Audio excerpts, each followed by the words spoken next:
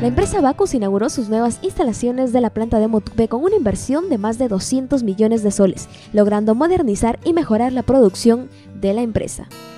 El objetivo es ampliar nuestra capacidad aquí en el, norte. Desde aquí en Motupe estamos cada vez atendiendo más localidades. Antes se atendían desde Lima, hoy estamos atendiéndolas desde aquí, desde, desde el norte. Y dos, invertir en todo lo que tiene que ver con mejorar nuestra perspectiva con el medio ambiente.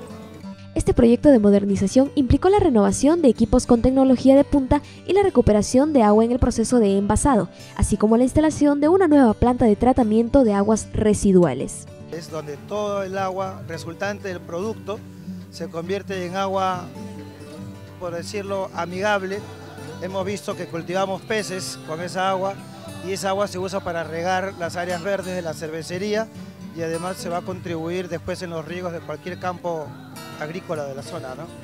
En la actualidad, esta planta ofrece 653 puestos de trabajo y abastece a 8 centros de distribución que permiten que los productos lleguen a 7 regiones en el norte de nuestro país.